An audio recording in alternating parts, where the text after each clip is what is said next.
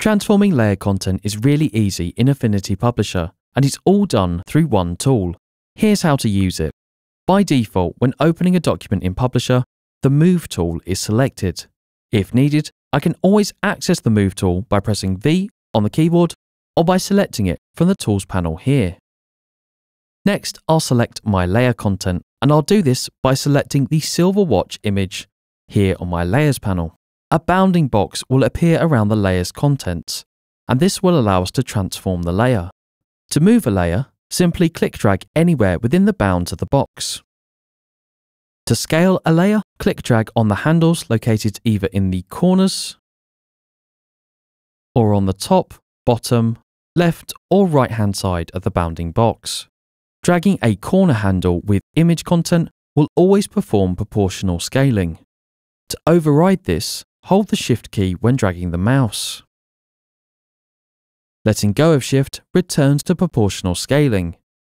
I can also hold Command on Mac or Control on Windows to scale around the center of the layer.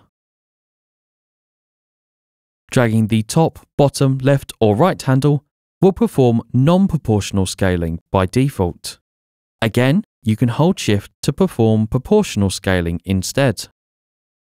Rotating a layer can be achieved by either click dragging on the top rotational handle or by hovering over the outside area of a corner handle. Whilst rotating, you can hold Shift to constrain the rotation to 15 degree increments. Shearing can be performed by hovering just outside the top, bottom, left and right handles and click dragging.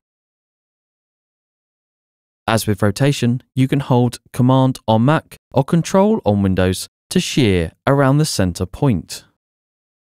Once I'm finished transforming the layer, I can simply switch to another tool, such as H for the View tool.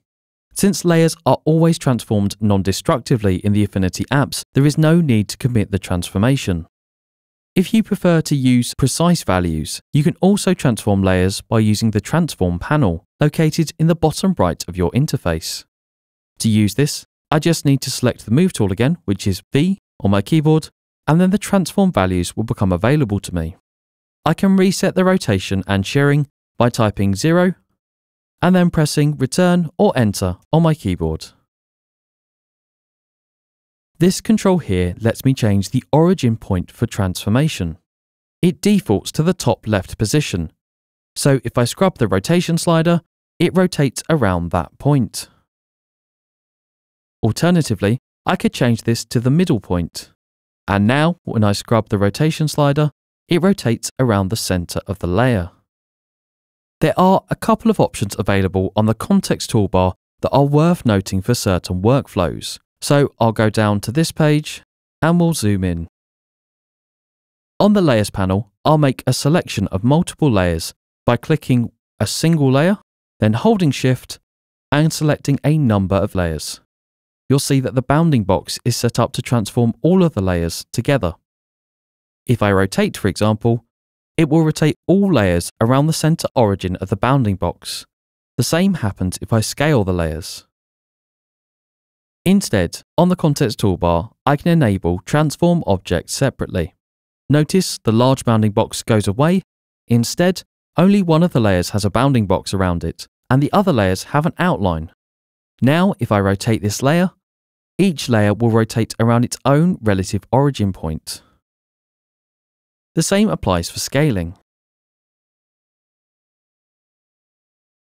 I can change the nominated layer for transforming by holding Option on Mac or Alt on Windows and clicking the layer I wish to nominate.